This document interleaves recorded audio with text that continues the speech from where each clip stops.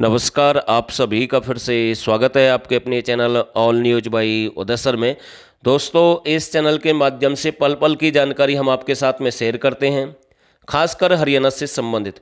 कोई भी कैसी भी जानकारी, चाहे किसान भाइयों से संबंधित, राजनीति है, पंचायत चुनाव है triple P Ayushman card BPL card family ID school college से जुड़ी हुई जानकारी, भर्तियाँ एग्ज़ाम से जुड़ी हुई जानकारी, सबसे पहले आपके साथ में शेयर करते हैं, खासकर हरियाणा की सभी न्यूज़ भाई जो नए साथी हैं, भाई, हम आपके लिए इतनी मेहनत कर रहे हैं तो आपका भी फ़र्ज़ बनता है। प्लीज़ इस चैनल को ज़रूर सब्सक्राइब करें और वीडियो अच्छी लगे तो इसे लाइक और शेयर भी कर सकते हैं। दोस्तों, बड़ी मेहनत करते हैं। सुबह से लेकर मॉर्निंग में चार पाँच बजे से लेकर देर रात ग्यारह बारह बजे तक पल पल की जानकारी हम आपके साथ में शेयर करते हैं, खासकर हरियाणा से संबंधित। दोस्तों, फिर से बहुत बड़ी जानकारी लेकर आए हरियाणा पंचायत चुनाव से संबंधित तीन तीन बड़ी जानकारी है और साथ के साथ हम आपको ये भी बताएँगे, पंचायत चुनाव की जो संभावित तिथि है, वो कब हो सकती है तो वीडियो के साथ आप सभी बने रहें।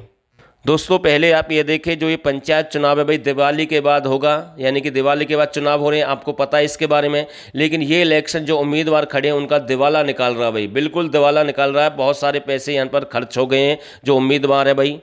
दोस्तों, यहाँ पर देखें, बहुत बड़ी ब्रेकिंग न्यूज़ है। भारी पड़ रही है पंचायत चुनावों की लेट लतीफ़ी भाई यानी कि ये बहुत भारी पड़ रही है।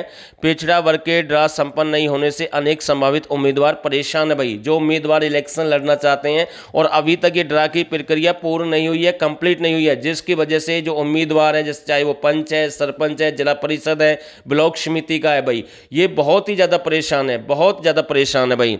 चुनाव जीतने की लालसा में पिछले डेढ़ साल साल से ग्रामीणों के बीच संपर्क बनाए हुए हैं संभावित उम्मीदवार।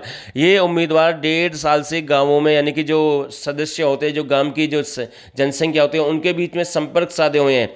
और अब तक बहुत ही ज़्यादा संख्या में इतने उम्मीदवार हैं जिन्होंने लाखों रुपए खर्च कर दिए हैं और चुनाव की डेट फिक्स नहीं हुई है। यानी कि हम कह सकते हैं कि वो बर्बाद हो गए एक प्रकार से और चुनाव अभी तक हुआ नहीं है। और यहाँ पर जितने भी उम्मीदवार हैं वो परेशान हो गए भाई, क्योंकि अभी तो कोई संभावित तिथि भी नज़र नहीं आ रही है। कभी कहते हैं तीस सितंबर से पहले चुनाव हो जाएगा। देवेंद्र बबली पंचायत मंत्री क्लियर कहते हैं तीस तारीख से पहले होगा।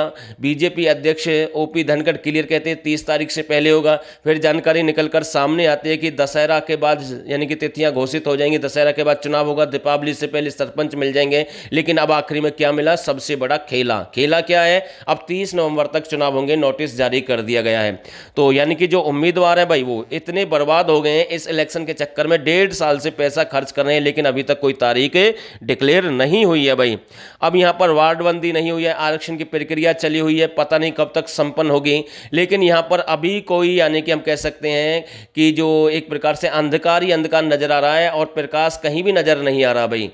लेकिन समय ही बताएगा, लेकिन मैंने आपको पहले भी जानकारी दी है और मैं फिर से कह रहा हूँ, यानी कि 22 तारीख तक जो प्रक्रिया है, वो सरकार की तरफ़ से, चाहे वो डरा है या फिर आरक्षण का मुद्दा, वो क्लियर होकर, यानी कि चुनाव आयुक्त के पास नहीं जाएगा तो भाई 30 तारीख तक भी शायद आपके चुनाव नहीं हो।